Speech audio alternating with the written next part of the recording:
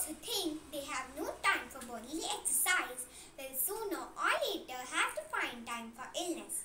This is a famous quote by India's former Secretary of State, Edward Stanley. Heartiest good morning to respected judges, principal ma'am, teachers, coordinators, and all my dear friends. I am standing before you to express my views on the topic Play the game of your choice, let your health rejoice. Playing games keeps one active, physical stamina, increase our immunity, and most importantly, keeps away from diseases like diabetes, heart problems, and obesity. It can directly affect our physical health, weight, and height. Playing various outdoor games in childhood will help us to lead a well balanced and healthy lifestyle when we grow older.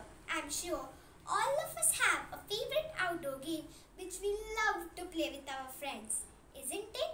Having a physical hobby is essential for every individual. Some of the interesting games are cricket, basketball, football, tennis, badminton, etc.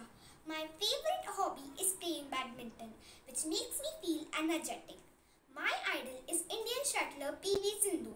Watching her play and achieve success makes me overjoyed and heightens my interest in the game in which my country has been doing better consistently. Badminton is a not only our entire body but also our mind exercises. Badminton helps in building strength, improving heart function, muscle building, improving hand-eye coordination and also helps to develop physical and mental coordination. One of the greatest benefit of all at this situation is that in case if your locality is not a COVID-19 hotspot, you can go out and play with your family and friends as it is zero contact and socially distant sport. This is how my health rejoices by playing badminton.